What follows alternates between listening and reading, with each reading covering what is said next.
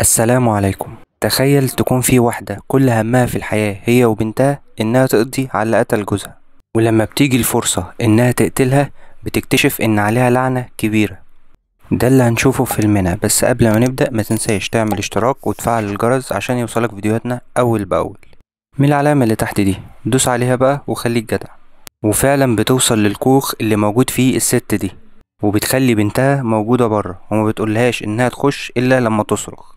وفجأة بتظهر من العدم وتاخد ليها صورة. وبنلاقي إنها جايلها عشان تعمل ليها لعنة. وعلى طول بتطلب منها عينة دم الضحية.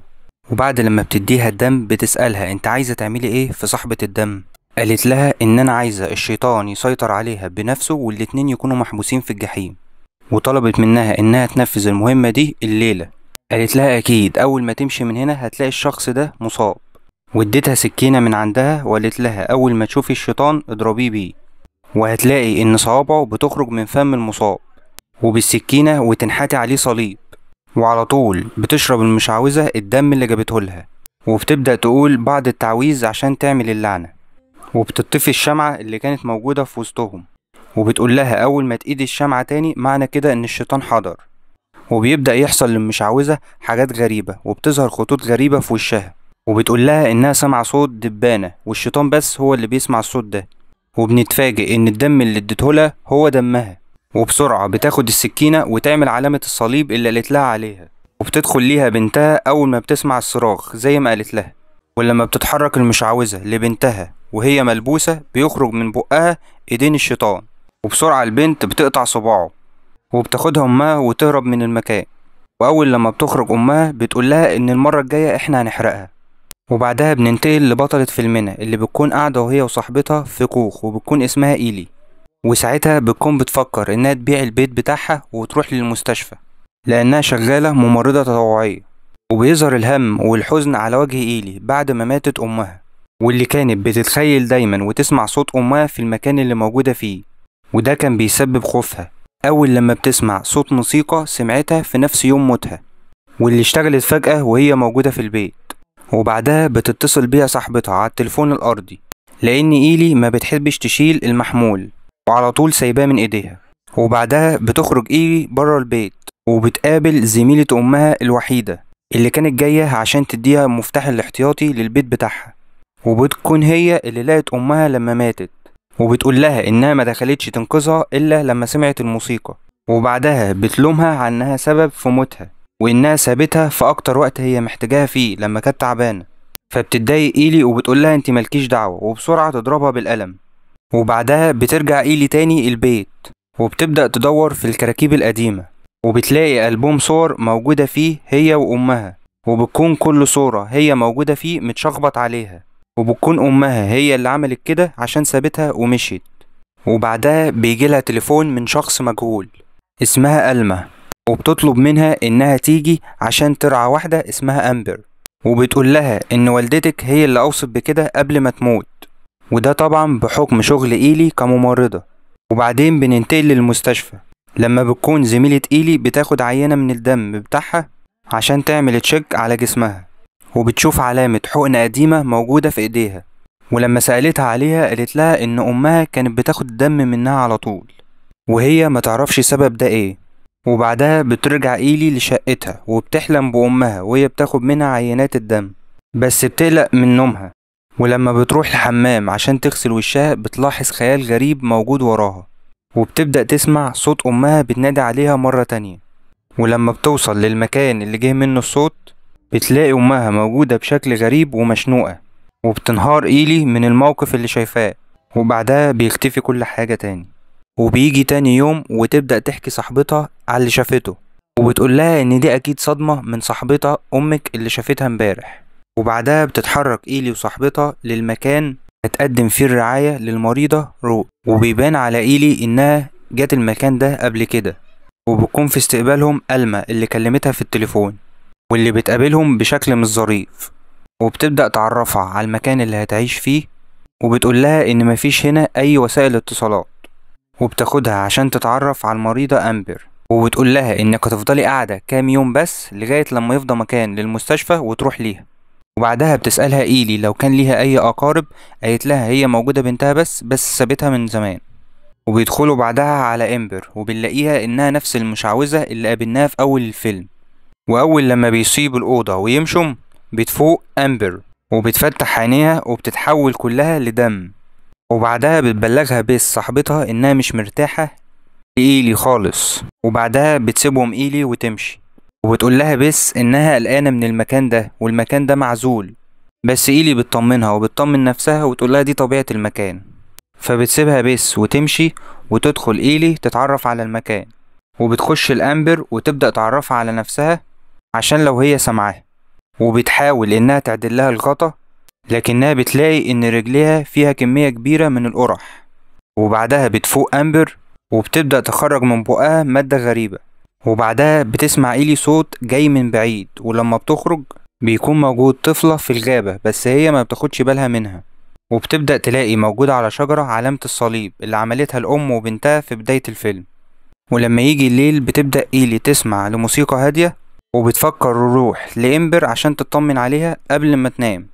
فبتقوم وبتنسى الموبايل بتاعها فبتوصل ليها وتقول لها أنا هقعد جنبك شوية بس بتروح إيلي في النوم وفي الوقت ده بتفتح أمبر عينيها وبيخرج من بقها إيد الكائن الغريب واللي بيحاول يقرب من بق إيلي لكنه بيختفي فجأة أول لما بتفوق على صوت التليفون الأرضي اللي بتكون صاحبتها بس بتتصل بيها عشان تطمن عليها وبتنهي إيلي المكالمة معاها. لما بتسمع صوت حاجة خبطت على باب الشباك ولما بتخرج برة بتلاقي تفاحة ومغروز عليها رسالة تحذيرية وده اللي سبب خوفها وخلاها تتصل بالشرطة واللي طمنها وقال لها أكيد بعض الأطفال بيضحكوا معاها ولما بيسألها عن سبب وجودها هنا بتقوله أنا موجودة عشان أخدم السيدة روز فبيستغرب ساعتها وبيقول لها هي مش ماتت؟ قالت له لأ هي عندها بس سكتة دماغية هتروح بعد كام يوم المستشفى؟ وبيجي تاني يوم الصبح ولما بتكون إيلي بتجري في الغابة بتقابل نفس البنت. وبعدها بيجي الليل وتصحى على صوت مامتها مرة تانية وهي بتندهها. وبتلاقي إن الصوت جاي من الأوضة اللي فيها أمبر. وساعتها بتفكر إن بنتها رجعت ليها مرة تانية. بس لما بتخش الأوضة بتلاقي كل شيء هادي ومفيش أي حد موجود في الأوضة. وبيجي تاني يوم وأول لما بتصحى إيلي من نومها بتكتشف إن في كدمات موجودة على رجليها. وبتبدأ صاحبتها إنها تدور على قصة البيت اللي موجود فيه إيلي وبتوصل إن المكان ده بيدور عليه شائعات بيدور معظمها حوالين قصص الشياطين والأشباح وبعدها بتقابل إيلي الفتاة وأمها وبيبدأوا يتعرفوا عليها وبتتأسف لها من اللي حصل امبارح إن بنتها هي اللي رمت التفاحة وعليها رسالة التحذير وبتقول لإيلي إنها لازم تسيب المكان لأن سيدة أمبر ميتة. وبتبدأ تحكي لها عن اللعنة اللي عليها وإنها هي السبب في موت جوزها ولو عايزة تتأكد هتلاقي الصليب اللي موجود على رقبتها وإن سبب وجود إيلي الوحيد هو إن بنتها عايزة تنقل روحها لجسد واحدة شابة. ولما بتكون بس في المكتبة وبتعرف أسرار عيلة أمبر بتشوفها إيلي وبتشوف حاجات صدمة عن البيت ده. وبعدها بتطلب من إيلي إنها تسيب المكان لأن كده كده هيحرقوا المكان ده. بعدين بنروح للمستشفى اللي بيكون فيها بس وبتحاول تسأل عن اسم أمبر متسجل في المستشفى ولا لأ؟ فبتقول لها الممرضة إن الاسم ده مش موجود في الكشوفات من 30 يوم. فبتحاول بس تتصل بإيلي عشان تحذرها بس تليفونها بيكون مقفول كالعادة. وبالصدفة تقع بيضة من إيلي وبتكتشف بوجود نجمة سداسية تحت السجادة وموجود تحتها باب لأوضة سرية. ولما بتقرر تنزل وتشوف فيه إيه؟ بيكون في الوقت ده بيز زميلتها بتحاول توصل ليها في أسرع وقت بس ما بتردش على التليفون. لما بتنزل إيلي بتلاقي كتاب مرسوم عليه نفس النجمة السداسية وأول لما بتفتحه بتلاقي موجود عليه صور لضحايا أمبر ولقت من ضمن الصور دي هي وأمها. ولما بتقلب الصورة اللي موجودة فيها بتلاقي صورة أبوها موجودة في ظهرها وبتلاقي جنبها أنبوبة دم مكتوب عليها اسمها. وفي الوقت ده بيوصل لبس رسالة من إيلي بتقول لها إنها رجعت البيت فبتطمن بس وتلف العربية تاني عشان ترجع لبيت إيلي بعد ما كانت رايحة لبيت أمبر. وبتدخل إيلي للأوضة اللي فيها أمبر وبتبدأ تواجهها لو كانت سامعاها. وأول لما بتشيل الغطا اللي موجود على رقبتها بتلاقي علامة الصليب وبكده كلامها يطلع صح. وبسرعة تحاول تخرج من الأوضة لكن الباب بيكون مقفول. وبتبتدي تسمع صوت جاي من سرير أمبر. وأول لما ببص عليها بتلاحظ إن إيد الشيطان بتخرج من بقها. في الوقت ده بتوصل بس لبيت إيلي. وأول لما بتوصل فوق وتبتدي تدور على إيلي بتتفاجئ إن ألما هي اللي موجودة في البيت وبتضربها بالسكينة في بطنها وإنها هي اللي سرقت تليفون إيلي وبعتت الرسالة لبس وبتقضي عليها في النهاية بالسكينة. في الوقت ده بترجع تشتغل نفس الموسيقى تاني عند إيلي اللي ماتت بسببها أمها. وبتوصل الشرطة للمكان اللي فيه إيلي. وبيقول لها اللي إحنا جالنا رسالة اللي المكان ده هيولع وجينا نطمن عليكم. قالت له إن إحنا لازم نمشي للمكان ده دلوقتي ولما سألها على أمبر قالت له هي ميتة. فبيشك من كلامها وقال لها إحنا لازم نطمن عليها ومش هنسيبها لوحدها. فبتحاول إيلي تحذره إنها مش بش- بشرية قبل ما يخش. لكنه مش بيسمع كلامها وبيبدأ يدور في الأوضة. وبتكون في الوقت ده أمبر متعلقة في السقف فوقيه. وأول لما إيلي بتفتح الباب وتخش عليها بتتفاجئ إن أمبر نط على الشرطي وبتاكل في لحمه. وبسرعة بتهرب إيلي من البيت وبتوصل للشرطية اللي موجودة بره. وفي الوقت ده بتخبطها العربية وتكون عربية بيز زميلتها ولما بتخرجها إيلي عشان تحاول تنقذها بتتفاجئ إنها ألمة ولابسة الجلد بتاع صاحبتها بس وبعدها بتفوق وهي موجودة تاني في الكوخ. ولما بتفوق بتبدأ ألمة تحكي لها الحقيقة وإن أمها لجأت ليهم عشان تعمل لعنة على أبوها. بس ما كانش معاها فلوس فقررت إنها تتبرع بدم بنتها بدل الفلوس عشان تستخدمه في اللعنات اللي بتستخدمه المشعوذة. وبعدها بتفوق مرة تانية وبتلاقي إنها موجودة في وسط دايرة مع جسم أمبر. وبنكتشف إن ألما دي هي بنت أمبر وبتجهزها عشان تنقل الروح بينها وبين أمها. وفعلا بتوصل لكتاب التعويذ وبتبدأ تقول في التعويذ وبتفتح أمها بقها وبيخرج منها كمية كبيرة من الدبان. وبعدها بيخرج إيد الشيطان من بق أمبر.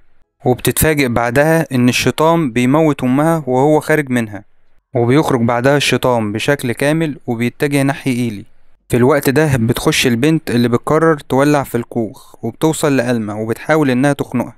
وبعدها بتتحرك للكتاب وتبدأ تقرأ التعويذة المضادة عشان يرجع للجسم بتاعه مرة تانية. بس ده ما بيأثرش فيه وبيبدأ يتحرك ناحيتها وبيحاول يخش فيها. بس إيلي بتيجي من وراه وبتمسك السكينة وترسم عليه الصليب. وده بيكون في دخلة بنتها واللي بتضربه في عينه وبتحرقه. وبيتحرق معاه الكوخ. وبيتحرق البيت مع لقطة أخيرة للشيطان وهو بينظر لجسم ألما وبعدها بتروح إيلي لمكان قبر أمها ومعاها الأسطوانة اللي كانت بتحب تسمعها وبتكسرها عند القبر. بعدها بترجع إيلي لشغلها العادي كممرضة في المستشفى. وأول لما بتوصل لقسم الحروق بتسمع نفس الصوت مرة تانية بينده عليها.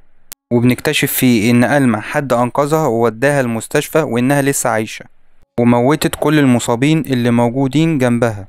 وطبعا بيكون الشيطان موجود جواه. وبس كده يا سيدي. دمتم في أمان الله. سلام.